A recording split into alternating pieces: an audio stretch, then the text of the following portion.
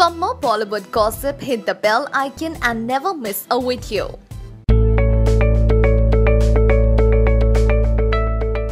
Salman Khan had shared screen space with the ravishing beauty Rekha in the film Biwi Ho To Aisi, which released in 1988.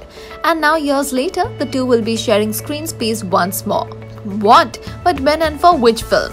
Well, while shooting for Race 3, filmmaker Remo D'Souza shared a surprising news by posting a picture of the team with Rekha. He captioned it, A dream come true, coming soon, beautiful song. Now with this post, Remo has officially announced that Rekha is now the latest entrant in Race 3 and hearing this news we wonder how she would fit the bill in this fast-paced thriller.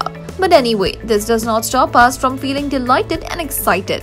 So what are your feelings on hearing about Rekha joining the team of Race 3? Do let us know by commenting in the section below.